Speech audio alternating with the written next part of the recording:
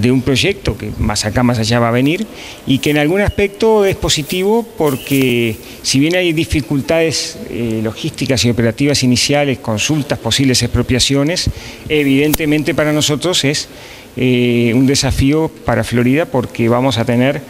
eh, un tren que por este tema va a ayudar a la producción a sacar los cientos de miles de toneladas de volúmenes de producción que podemos tener y por eso están las gremiales, a los efectos de calcular, por un lado,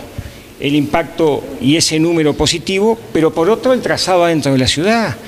si va a ser el mismo, si va a cambiar, si en algún aspecto Sarandí Grande, por eso está el alcalde que tiene la mitad,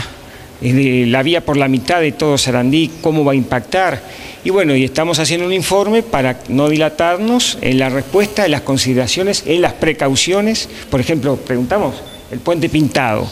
¿va a usarse el mismo puente inglés viejo? Eh, ¿Se va a mejorar? ¿Nos complica nuestra licitación eh, de fideicomiso en este momento, de puente nuevo? en paralelo,